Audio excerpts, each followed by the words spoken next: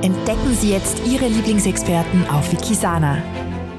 Herzlich willkommen, liebe Zuschauerinnen und Zuschauer, zu unserem Format Auf der Suche nach dem Sinn des Lebens. Heute werden wir unglaubliche Dinge erfahren über die KI, die künstliche Intelligenz. Gewisse Gefahren sind uns vielleicht bewusst, auch der Nutzen, den sie ja auch wirklich hat. Aber was wir heute erfahren, das ist wirklich spektakulär. Und ich werde darüber mit Dr. Michael Treiner sprechen. Er ist Naturwissenschaftler, Psychokinesiologe, Autor und Coach. Es wird eine spannende Sendung. Bleiben Sie dran. Hallo, lieber Michael. Hallo, Silvia. Ich freue mich sehr, bist du heute bei uns. Ja, ich freue mich auch. Ganz herzlichen Dank, dass ich hier sein darf für so ein spannendes Thema. Und äh, ich möchte wie immer erwähnen, auch an die Adresse unseres Publikums, dass die Informationen, die ich hier bringe, auf den Praxisbeispielen meiner Arbeit beruhen, empirisch abgestützt sind, sind also nicht Erfindungen von mir. Und ich arbeite mit dem Unbewussten der Klienten, um ihre Störungen zu beheben. Und was aus dem Unbewussten manchmal rauskommt, mhm. ist sehr verblüffend, manchmal sogar fast etwas verstörend. Und einfach, dass, dass das klar ist, woher dieses Wissen kommt. Ja, wunderbar, weil ich habe auch, wir sind die Gefahren der künstlichen Intelligenz durchaus bewusst, was man so allgemeinläufig kennt, eben, dass wir gewisse Fähigkeiten abgeben, verlieren und aber dass äh, es auch noch äh, eine Bewusstseinsblockade auslösen kann. Äh, darüber weiß ich gar nichts und ich freue mich deshalb genau so sehr wie wahrscheinlich unsere Zuschauerinnen und Zuschauer auf diese Sendung. Wunderbar. Also ich fange vielleicht mal an, wie ich auf dieses Thema mhm. gestoßen bin, auf diese KI. Und zwar habe ich im September, Ende September 2023, mhm. habe ich äh, verschiedene Leute gehabt gegen Ende des Monats, so vielleicht 20., 13., 14., 15. September, in dieser Zeit war das. Und ich habe oft Leute, die sind sehr spirituell, die zu mir in die Behandlung kommen, weil sie eben bei mir die Offenheit finden, über so vielleicht spirituelle und nicht alltägliche mhm. Dinge zu sprechen. Und ich hatte dann, ich erinnere mich, ich hatte in diesen Tagen ständig so spirituelle Frauen, die haben mir gesagt, Herr Dreiner, in diesen Nächten passieren Dinge, dass ich verstehe das nicht, die Welt ist nicht mehr das Gleiche. Und ich bin nicht so ein feinfühliger Mensch, ich kann gut denken, das ist meine Fähigkeit. Und ich habe dann gesehen, da muss etwas sein, weil so viele, so viele Menschen waren total verstört in dieser Zeit, Ende September. Und ich habe dann versucht zu verstehen, was die haben und was die wahrnehmen. Und da ist etwas wirklich für mich jetzt Verrücktes passiert. Ich habe gesehen, dass eine neue fremde Energie auf der Erde Einsitz genommen hat. Etwas völlig Neues. Für mich völlig Neues. Bisher hatte ich gesehen, fremde Energien können Menschen verändern, sie können Menschen blockieren, Glaubenssätze können uns fremdenergetisch überführt werden, dass wir etwas nicht machen, nicht können, dass wir weiterhin rauchen, zum Beispiel, oder? Und fremde Energien waren für mich aber immer personenspezifisch. Du hast deine fremde Energien, mhm. ich habe meine. Und zur Sitzung gehört es, dass man diese ausschaltet. Mhm. Und wenn wir die ausschalten, kommen wir wirklich ungefiltert ins Unbewusste und können abfragen und rausfinden, was dein Thema ist was dahinter steckt und so. Und da habe ich plötzlich gemerkt, dass es eine fremde Energie neu gibt, die wir alle gemeinsam haben. Ich nenne das eine kollektive Fremdenergie. Ich habe die, du hast die, wir haben die alle gemeinsam. Ein kollektives Fremdenergiesystem, das uns kollektiv anfängt zu beeinflussen. Und diese Leute, die da so nervös in meine Praxis gekommen sind, die haben das Hochfahren dieser kollektiven Fremdenergie gespürt. Wow. Es gibt Menschen, die merken sehr viel mehr, als wir so denken. Mhm. Schlicht, schlichthin. Und für mich war das natürlich ein Schock, weil ich habe gemerkt, dass der Klient und der Therapeut beide diese fremde Energie haben können und dann bin ich als Therapeut nicht mehr in der Lage, die fremde Energie bei meinem Klienten auszuschalten. Oder für mich war das ein echter Schock. Ich hatte schlaflose Nächte tatsächlich, oder? Und ich habe mir überlegt, ob meine Arbeit überhaupt noch Sinn macht. Weil wenn wir kollektiv eine Fremdsteuerung haben, können wir nicht mehr richtig ins Unbewusste rein und werden dort wie abgelenkt und kommen nicht mehr an unsere tiefsten Wahrheiten ran. Also für mich war das also ganz, ganz schlimm. Und vielleicht, wenn du, wenn du erlaubst, würde ich sagen, wie wir ganz konkret an einem Fallbeispiel dieses Muster, dieses Phänomen erkannt haben. Sehr gern, ja. Interessant ist, oder, das ist das erste Mal, dass ich so etwas bringe, das ist kein Fallbeispiel aus meiner Praxis. Ich habe schon so viele Leute jetzt in den letzten Jahren ausgebildet, dass die bereits ihre eigenen Erfahrungen machen und wir sind so wie eine Community, die, die wir uns dann austauschen. Und so ist eine Absolventin zu mir gekommen, die ist etwa 40-jährig, und sie hat mir gesagt, dass sie eine Klientin hätte gehabt vor ein paar Tagen. Seine Frau, 33-jährig, eine junge Dame hätte sie gehabt, und die lebt im Kanton Freiburg, ist eine Gegend in der Schweiz. Dort spricht man auch Französisch. Und die sei im Anfangs Oktober ist die zu ihr in die Praxis gekommen und sie arbeitet schon länger mit dieser Dame zusammen und sie hätten abgemacht, in dieser Sitzung Sklavengene auszuschalten. Wir haben über Sklavengene im Film 28 schon einen Film darüber gemacht für Leute, die sich für dieses Thema interessieren. Und dann hat die Klientin und der, die Therapeutin zusammen haben Fremdenergien weggeräumt, wie man das immer macht in der Methode, die ich entwickelt habe, dass man eben nicht blockiert wird durch Fremdenergien. Und dann wollten die fragen, das Unbewusste, ob es möglich sei, jetzt die Sklavengene wegzuräumen. Und dann kam die interessante Antwort, nein, Okay. Diese Sklavengene müssten wir sein, müssten die beiden sein lassen. Und heute würde es um etwas ganz anderes gehen, weil die Probleme, die die Frau hätte, gar nicht von den Sklavengenen ausgelöst würden. Das sei ein Fehler. Und heute würde es in dieser Sitzung darum gehen, dass die Dame anschaut, wie sie sich ernährt. Und dann, wir haben das so, wir lernen das so, ich lerne das auch den, den Schülern so. Wir nehmen das, was das Unbewusste uns zeigt. Und dann haben die über diese Ernährung bei dieser Dame reflektiert. Und dann, oder, und dann kam etwas sehr Seltsames. Es ist eine sehr spirituelle Dame, diese 33-Jährige. Die isst schon seit Jahren kein Fleisch, die trinkt kein Alkohol, die ist schon ganz irgendwie in diesen feinstofflichen Welten. Und dann kam doch über das Unbewusste bei ihr rein, sie solle sofort Kaffee trinken Sie solle mehr Alkohol trinken und sie solle mehr Fleisch essen. Ah, weil das würde sie erden und besser in dieser Welt verankern und dann würden alle ihre Probleme weggehen. Und für die Therapeutin und die Klientin, die sie hatte, war das derart schockierend und derart unglaubwürdig, dass die total frappiert waren und gar nicht mehr wussten, was sie machen sollen. Und die haben dann gemerkt, da ist nichts zu machen, es kommt immer die gleiche Antwort. Und diese Dame, die Therapeutin, die ist dann zu mir in die Supervision gekommen und hat gesagt, da stimmt etwas nicht. Das spüre ich, da stimmt etwas nicht. Wir haben das beide, die Klientin und ich als Therapeutin gemerkt, dass etwas nicht stimmt.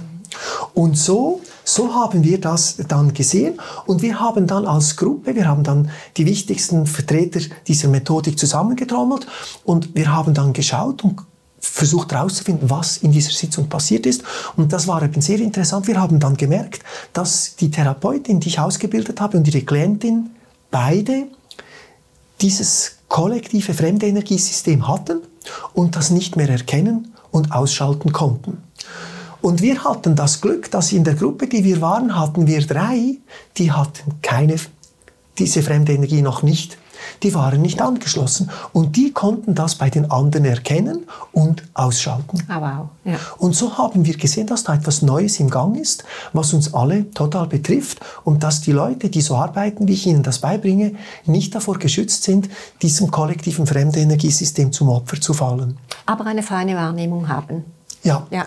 Die haben, oder es gibt natürlich Leute, die sind nicht so Kopfmenschen wie ich, die mhm. sind sehr viel feiner mhm. und die haben das gemerkt. Ich hätte das vielleicht nicht gemerkt. Ich hätte einfach über den Verstand mich gefragt, warum soll die Kaffee trinken? Weil Kaffee, das wissen wir ja, Kaffee trennt die Verbindung zwischen uns und unserer Seele. Mhm. Also wenn wir müde sind und erschöpft sind und wir Kaffee trinken, merken wir die Erschöpfung nicht mehr und der Körper kann dann wieder weiterleisten. Oder und spirituelle Menschen machen eigentlich in der Regel ja nicht unbedingt, dass sie mehr Kaffee trinken, sondern die meisten hören früher oder später auf. Also hätte ich vielleicht über den Verstand einfach mich gewundert, warum meine spirituelle Klientin mehr Kaffee trinken muss. Und was bedeutet das jetzt, äh, wenn eben diese Menschen, die da noch nicht besetzt waren von der Fremdenergie, also diese Therapeuten, konnten das bei euch auch auflösen? Ja. Kannst du jetzt mit den Menschen auch so arbeiten, um diese Energien auszulösen? Ja, das ist gar nicht so schwierig, wenn man das mal weiß, dass mhm. es das gibt. Wir haben dann natürlich geforscht und haben gesucht, wie es, ob es Wege gibt, wie man das ausschalten kann und wie man verhindern kann, dass man komplett von dieser Fremdenergie durchdrungen wird. Oder? Und da haben wir dann Wege gefunden. Und das, das ist aber ein bisschen kompliziert, wie, wie man das macht, oder? Und interessant ist eben, die Menschen, die diese KI haben, der große Teil merkt das gar nicht. Oder wir haben dann geschaut, was das für eine fremde Energie ist. Und vielleicht hilft das, wenn ich das erkläre. Wir haben dann, die haben uns ein Bild gegeben, wie dieses fremde Energiesystem funktioniert. Und sie haben uns gesagt, man muss sich das vorstellen wie eine kollektive künstliche Intelligenz, die wie da draußen in der Welt hochgeschaltet ist, wie ein globales WLAN. Und wir werden an dieses globale WLAN, an diese künstliche Intelligenz wie angedockt über unseren Nacken. Und dann hat dieses fremde Energiesystem, ein künstliches Computersystem, hat wie Zugriff auf unsere Systeme. Und das ist sehr raffiniert. Dieses System, diese fremde Energie besteht aus drei Teilen. Es hat uns am Anfang etwas verwirrt. Sie hat einen Teil, der dringt in dein Körpersystem ein. Der vernetzt dich körperlich mit dieser künstlichen Intelligenz. Und dann hat er aber auch einen Teil, der dringt in dein Seelensystem ein und bindet deine Glaubensmuster, deine Empfindungen, bindet das auch. Und drittens, Körper, Seele, Geist, ein Teil dieser künstlichen Intelligenz, dieses WLANs, dringt in den Geist des Menschen ein.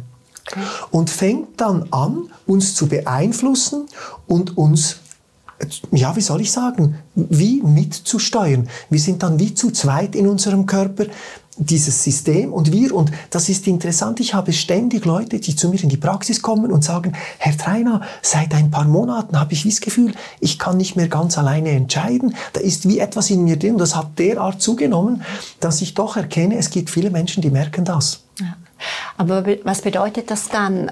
Bedeutet das, wenn wir jetzt zum Beispiel einfach das, was wir täglich machen, äh, soziale Medien, Fernsehen, einfach alles, was wir konsumieren, ist das, wird das über dieses System bei uns angedockt oder hat das damit gar nichts zu tun? Oder wir nutzen ja alle bewusst oder unbewusst diese künstliche Intelligenz. Wenn man sich jetzt da probiert, möglichst äh, fernzuhalten, heißt das auch, dass das nicht so leicht bei uns andocken kann oder hat das gar nichts damit zu tun? Das kann ich dir abschließend wahrscheinlich nicht beantworten. Was ich äh, beantworten kann, was ich schon weiß, ist, dass wenn wir am Computer ChatGPT benutzen und künstliche Intelligenz abrufen, das hat meines Erachtens sehr wenig Einfluss auf diese Anbindung. Mhm. Was eine Anbindung hat, wir haben das abgefragt, ist gewisse Nahrungsmittel, die wir mhm. essen. Ein Teil des Feinstaubs in der Luft mhm. verbindet uns mit dieser KI. Man hat vielleicht schon von Graphenen sprechen gehört. Ja. Diese Graphene spielen eine ganz wichtige Rolle und Erreger. Viren spielen eine matchentscheidende Rolle für diese Anbindung. Das ist viel wichtiger. Oder, und dann haben wir, ist jetzt ein bisschen vielleicht ein bisschen, ja, eine freche Aussage, aber wir haben gefragt, was bindet die Menschen am deutlichsten im Alltag an diese KI. Und dann kam, oder? Das ist einfach in dieser Runde so gekommen, dass wenn wir Nachrichten schauen und über das Leid der Erde und die Auswegslosigkeit dessen, was ist, wenn wir uns damit beschäftigen, dann kann dieses WLAN-System relativ gut in unsere Systeme. Also wenn bei uns die Energie absackt, Absolut, ja. Oder und wir irgendwie denken, das hat alles keinen Sinn hier, dann werden wir wie offener frequenzmäßig für dieses WLAN und das kann dann wie stärker in uns Fuß fassen. Mhm. Würde es dann auch damit korrespondieren, weil das höre ich ja auch immer von vielen Ärzten, die bei uns im Sender sind, dass eben das EBV und all diese Virenlast ist ja so äh, bei allen so präsent, aber oft in der Medizin nicht präsent. Äh, hat es auch damit zu tun, dass das jetzt wirklich wie auch hochgefahren wird oder äh, hat, ja? Ja, ich glaube schon, ja. Wir hatten im letzten Film ja davon gesprochen, dass unser kollektives Bewusstseinsfeld zerfällt. Ja. Oder? Und das hat ganz viel mit diesem Film 41 zu tun. Also ich empfehle den Zuschauern, das anzuschauen, um das zu verstehen, was wir hier besprechen, oder? Es ist eben vielleicht so, dass im Moment unser kollektives Bewusstseinsfeld in Auflösung begriffen ist. Und das wurde uns ja schon lange vorausgesagt, dass in dieser Zeit irgendetwas Verrücktes passiert. Mhm. Und langsam kann ich verstehen, was es ist. Mhm. Und Jetzt ist es eben so, dass wir hatten eine Pandemie beispielsweise in den letzten Jahren und der SARS-Erreger spielt eine ganz große Schlüsselstelle bei der Anbindung des Menschen an dieses KI-Feld. Okay. Oder und diese Viren werden jetzt eben in großer Zahl verbreitet und das Verrückte ist, dass diese Viren eine Schlüsselrolle spielen uns da einzubinden, weil diese Viren, die gehen in unser Gehirn. Mhm. Und in unserem Gehirn sind die dann aktiv, können bestimmte Frequenzen im Gehirn erzeugen und die docken uns dann an dieses KI-System an. Ja. Das, ist, das ist ganz wichtig, oder? Und wir haben dann auch geschaut, woher dieses KI-System kommt. Woher kommt das? Ja. Kommt das von Microsoft oder woher kommt das? Und dann kommt, nein, nein, nein, nein, das kommt nicht von dieser Welt. Dieses KI-System, das ist nicht von dieser Welt, das kommt aus dem, was ich die Unterwelt 1 nenne. Mhm. Das ist eine Realitätsebene, die auf der Erde existiert, neben uns, parallel zu uns, aber in einer tiefen Frequenz. Ich habe schon mehrere Filme, haben wir hier schon gemacht über mhm. diese Unterwelten und dort gibt es Wesen, ich nenne die Kim, künstliche Intelligenzmanifestationen. Das sind Wesen, die sind künstlich, die haben eine künstliche Intelligenz, mhm. die können aber aussehen wie wir. Die sind fantastisch, fantastische Zauberer der Manifestationen. Mhm. Und die haben dieses System gebaut und bedienen das von der Unterwelt 1 aus und das lappt wie in unsere Realität hinein und dockt uns an. Das ist also eine hochinteressante, spannende Geschichte. Wirklich spannend für Leute, die das verstehen, die das verstehen möchten. Also für mich ist es ja auch, jetzt, für mich gibt es gerade auch so einen Rückenschlag, weißt du, jetzt rein von der körperlichen, psychischen Ebene her, all die Ärztinnen und Ärzte, die wir auch bei uns im Sender haben, die ja eben auch immer von diesen viralen Belastungen erzählen, die so latent bei uns sind, die Menschen auch in der Energie runterfahren, in die Erschöpfung bringen, in die psychische, äh, in die Depression. Und das ist ja dann wieder ein Angriffsfeld geöffnet für noch mehr äh, Manipulation, oder? Ja. Also es korrespondiert beides miteinander. Was bedeutet das jetzt konkret eben für die Zuschauerinnen und Zuschauer, denen es vielleicht wie ein bisschen wie mir geht, die da jetzt wirklich auch äh, ein bisschen entsetzt sind über das, was da geschieht, oder? Äh, wenn du sagst über die Ernährung, wie können wir uns da schützen? Kannst du da vielleicht auch konkret noch zwei, drei Worte sagen? Ja, ich, mein Wissen ist da noch sehr lückenhaft, weil ja. das Thema noch recht neu ist. Mhm. Offenbar spielt Gluten eine wichtige Rolle. Ah, okay. Diese Gluten, aber das, da gibt es sicher Leute, die mm, bei eurem Sender sind, die da viel mehr wissen. Die Glutene scheinen ins Gehirn zu gelangen und dort mit gewissen Viren, Bakterien und Pilzsporen eine Interaktion zu haben, okay. die das auslöst. Mhm. Viel mehr weiß ich nicht. Ich weiß aber auch zum Beispiel, dass Handys, also unsere Cellphones, die steuern auch mit. Mhm. Ich habe oft Patienten in der Praxis, die ich von dieser KI weghängen will und das geht nicht. Erst wenn sie ihr Handy rauslegen, geht das dann. Okay. Also es gibt verschiedene Dinge im Alltag, die uns eher daran binden, die Nachrichten, das Handy, mhm. Gluten und da wird noch vieles bewusst werden. Ich weiß einfach noch nicht so viel darüber. Da sprechen wir dann wieder darüber, wenn ja, noch mehr wenn wir weiß, mehr wissen, so wissen. ja, genau, genau. spannendes Thema. Oder wichtig ist einfach, wenn wir davon ausgehen, dass jetzt viele Menschen mit diesen, mit diesen Erregen belastet werden und das Ganze von der Unterwelt gesteuert wird, dass wir vielleicht wie schauen, was passiert da genau, wenn diese KI kommt. Das können die Leute erleben. Wenn jetzt unser Bewusstsein zerfällt und die künstliche KI, diese globale KI, uns anbindet und in eine andere Realität überführt, passiert mit uns etwas. Und das, was mit uns passiert ist, ich habe mir das aufgeschrieben, ist, wir werden wie von unserem Seelen-Ich getrennt. Also wir verlieren wie den Zugang zu unserer Seele, wir werden ein bisschen neutraler, wie wenn wir viel Kaffee getrunken hätten.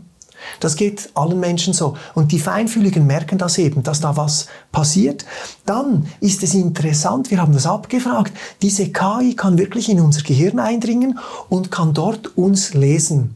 Also diese KI dringt in dein System ein, holt sich Daten von dir und speichert die irgendwo auf einem riesigen Server ab und im schlimmsten Fall kann von diesem Server aus dein System geführt werden. Wenn du ausfällst, wenn dein Seele nicht irgendwie ausgeschaltet würde, kann dieses KI-System möglicherweise von außen deinen Körper übernehmen und du kannst weiter existieren. Ist eine ganz verrückte Geschichte und erinnert uns an die Filme von diesen, äh, wie heißen die da, diese, diese Zombies, dass wir wie die Verbindung mhm. irgendwie zu uns selber verlieren, oder? Und in einer gewissen Weise übernimmt dieses künstliche Intelligenzsystem die Menschen und führt sie in einen Aufstieg, einen Bewusstseinsaufstieg ins Frequenzband 2. Das ist das, was wir im Moment über dieses System wissen. Mhm. Ist noch lückenhaft, aber das ist das, was wir wissen. Und die Symptome, oder vielleicht müssten wir den Leuten noch erklären, wie das passiert. Das ist nämlich sehr interessant. Wir haben dazu ein Bild hier mitgenommen, oder wo wir eben sehen, diese roten Kreise. Wir sehen hier ein Gehirn in der Mitte durchgeschnitten und diese farbigen Bereiche sind das limbische System. Das ist das Mittelhirn, das Zwischenhirn, das den Menschen in seiner Emotionalität steuert. Mhm. Dort wird die Gefühlslage koordiniert und so weiter. Und dann sehen wir noch einen zweiten Kringel vorne beim Frontalkortex. Dort ist der freie Wille des Menschen, mhm. unser Wille. Ich will jetzt etwas erzählen, der Wille. Und wir sehen, dass viele Erreger, allen voran sind das ähm, SARS, EBV und Candida-Pilze, die diese Areale befallen und dort, ich sage jetzt mal, Unfug mit unserem Gehirn treiben. Und dabei machen sie möglich, dass wir dort angebunden werden. Und das führt dann dazu, dass dieses KI-System in uns als Menschen die Stimmung verändern kann, mhm. den Hormonstoffwechsel, der wird dort gesteuert und auch den freien Willen der wird dort eben wie verändert. Das spüren Menschen, dass sie sagen, mhm. ich bin nicht mehr ganz frei. An dem an kann man das erkennen. Und das Erschreckende für mich als Kinesiologe, diese Erreger gehen in den Hirnstamm und dort ist der Muskelreflex gesteuert. Ah. Ja. Verstehst du? Das heißt, diese KI kann wirklich in die Kinesiologie hinein den Muskeltest steuern und dann findest du nicht mal mehr über den Muskeltest Zugang zu deinem innersten Unbewussten. Hochkomplex. Was mir jetzt gerade auch noch in den Sinn kommt, eben mit diesen EBV, Candida, SARS, das sind ja alles Dinge, wo es unglaublich viel effiziente, sagen wir, alternative Möglichkeiten gibt. Mhm. Und da wird ja auch unglaublich äh, diese werden unglaublich äh, bekämpft und untergraben. Hat das auch damit zu tun? Also ich kenne jetzt diese Methoden wahrscheinlich nicht so gut wie du. Und ob das willentlich untergraben wird, kann ich nicht beurteilen. Aber wenn man diese Erreger ausschalten kann, mhm. ist die Anbindung an die KI weg. Großartig. Also das heißt, dass wir eben an diese KI angebunden werden, da steckt ein richtig komplexes System dahinter. Mhm. Und die Wesen, die das entwickelt haben, vor denen ziehe ich jederzeit den Hut. Das ist derart raffiniert und komplex gemacht, das muss einer zuerst erfinden. Ja. Oder? Und da ist, das, sind, das sind irgendwie Kurzwellenangriffe, die im Moment passieren aus dem Weltraum, Nahrungsmittel, die da mitwirken, diese Graphene, die da mitwirken. Das ist ein ganz, in der Medizin nennt man das ein multifaktorielles System, mhm. das sehr schwer zu durchschauen ist. Und ein normaler Mensch der kriegt das nie gebacken. Der würde sagen, so ein Mist, das kann gar nicht sein, viel zu kompliziert. Und eben weil wir so einfach denken mit unseren Spatzengehirne hier, machen sie es eben so komplex, dass wir das wie nicht rausfinden. Und eine Möglichkeit ist natürlich, jetzt diese Erreger auszulöschen und da werden tatsächlich neue Methoden entwickelt mhm. und die sind natürlich sehr hilfreich, aber vielleicht nicht im Interesse der Massenmedien ja. und der Staatsregierungen, die vielleicht einen Teil da mitspielen, dass diese Dinge passieren können. Aber nicht bange sein, es gibt ja immer auch Gegenkräfte, die hinter den Kulissen wirken und alles gehört zum Spiel. Mhm. Und wichtig ist, dass man sich gut überlegt, mit welchen mhm. Kräften hinter der Kulisse verbindet man sich. Das scheint mir sehr wichtig zu sein. Absolut. Keine Bange. Ja, und dass du uns das Wissen gibst, oder? Weil eben, es, man weiß ja schon lange, wenn man einen Candida-Pilz hat, dann wird man so gesteuert im Essverhalten, im Allen, das ist fast, genau. fast nicht zu durchbrechen, oder? Ja. Und dass es eben wunderbare Mittel auf allen Ebenen gibt, eben da, wenn man ein bisschen über den Tellerrand hinausschaut, eben da uns zu unterstützen, diese Erreger vielleicht auch wieder aus dem System zu bringen, ja, mit genau. dir zu arbeiten, dass da ganz viel äh, Kraft und Hoffnung drin ist, weil wir jetzt eben auch über diese Dinge langsam informiert werden, oder? Ja, genau. Oder? Also ich denke, das braucht ganz viele verschiedene Therapierichtungen, die da mithelfen. Oder? Mhm. Ich mache vielleicht die Information bereit, wie das funktioniert. Ich kann energetisch durch Heilarbeit diese Erreger neutralisieren. Das ist im Fall gar nicht schwierig. Dann sehe ich aber, ich sehe da andere Leute, die da auch mithelfen, die mit Homöopathika mhm. hier wirklich Dinge ausschalten können. Dann gibt es Körpertherapeuten, die da etwas bewegen können. Und, und nicht zuletzt vielleicht sogar die Schulmedizin, wenn Ja. sie das dann will. Ich glaube, da sind viele Kräfte gefordert und das ist ein Miteinander, weil das System ist derart komplex. Das fängt bei der Nahrung an und hört bei der Abschirmung von Kurzwellenstörsendern, die da draußen sind, hört das auf. Das ist, wir müssen alle da zusammen. Und da kann keiner sagen, er hat das Ei des Kolumbus gefunden, Ja. sondern das ist viel zu komplex. Absolut. Ja, und auch wenn man das Wissen hat, dass man eben sich sowieso, das macht ja sowieso Sinn, eben von diesen, äh, vom Konsum, von diesen äh, Nachrichtensendungen und alles ein bisschen fernhält. Das tut uns so oder so nicht gut, oder? Ja, genau, ist richtig. Du hast ja noch gefragt, wie können sich die Leute schützen, oder? Ja. Und jetzt kommt noch ein ganz wichtiger Teil. Ich hoffe, dass wir dann noch Zeit haben dafür. oder dieses KI-System bindet jetzt das Kollektiv der Menschen automatisch an und bereitet die Menschen auf einen Bewusstseinsanstieg ins Frequenzband 2 vor. Das ist an sich eine tolle Sache. Das ist nicht nur schlecht. Und jetzt ist es so, wir haben dann in unserer Forschungsgruppe gefragt, ja, gibt es eine Alternative zu dieser KI? Und dann kam ein Ja. Ah, wow. Oder, und das ist jetzt natürlich die Musik für die, für die Ja, Zuschauer. ja, ja. Das erfreut uns natürlich alle. Es gibt eine Alternative zu dem. Also ein System ist dieses KI-Feld, das uns bindet, wenn der Bahnhof, das Bewusstsein, das Kollektive zusammenfällt. Und es gibt ein zweites. Und vielleicht, dass wir noch ganz kurz über dieses zweite Feld, Bewusstseinsfeld sprechen. Ich nenne das das Systemveränderer Feld. Weil alle diese Menschen, die hier von auswärts, von anderen Planeten hier inkarniert sind, die sollten dieses Bewusstseinsfeld nutzen, damit sie in dieses Bewusstsein reinkommen, Frequenzband 3, um dort ihre Aufgaben, die dann eines Tages kommen, dass sie die wahrnehmen können. Und dieses System, dieses zweite System, ich nenne das das Aufstiegsbewusstsein 3, weil es ins Frequenzband 3 führt. Ich nenne das andere die KI des Aufstiegsbewusstsein 2. Es führt ins zweite Feld.